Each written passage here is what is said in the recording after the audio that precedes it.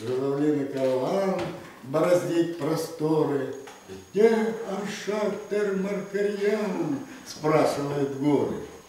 Лихо закрутил бурьян, захватил бурьян хуторские улицы. Где Аршак Термаркарьян? Степь интересуется.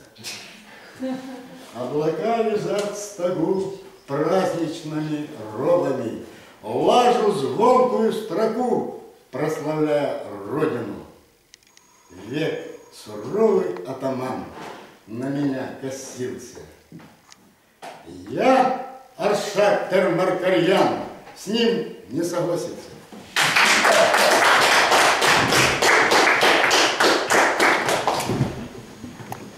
Следующий судья Кирюшин Виктор Федорович. Конечно, вот биография есть что рассказать, да? Но э, складывается по-разному, и вот Горький сказал в свое время, что в принципе роман о себе может написать каждый человек. Да. Каждый человек. Несмотря на то, есть у него такие яркие какие-то события внешние в жизни или нет.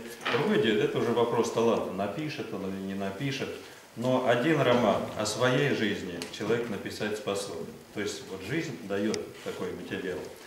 Но э, э, для меня кормящей профессией всю жизнь была журналистика. Это и плюс, и минус большой. Тот, кто работал в газете, знает, что с одной стороны плюс, потому что ты ну, варишься в гуще